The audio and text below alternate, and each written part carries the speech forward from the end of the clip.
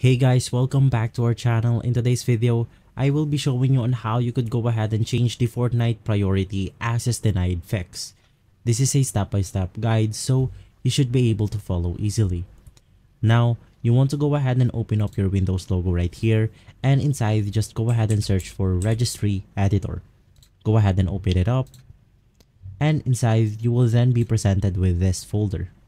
You want to go ahead and open up the HK current user, software, and inside software, just go ahead and open up Microsoft.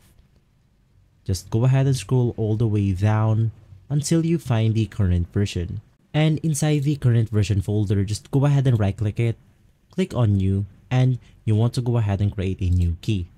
Inside, just go ahead and paste this folder right here. I'm gonna go ahead and leave this at the description box below. So once again, right click on the new key and you want to go ahead and create a new key again. Inside, just go ahead and type perf options and go ahead and click on enter. And lastly, once again, right click the perf options folder, go ahead and click on create new and inside, you want to go ahead and select the DWORD 32-bit value. Just go ahead and type the following CPU priority class and go ahead and hit on enter. After that, just go ahead and double tap the key right here and just go ahead and input number 3 on the value data. After that, just go ahead and click on OK and in that way you will now be able to change the priority on your Fortnite. If this video has been helpful for you, please consider by liking and subscribing.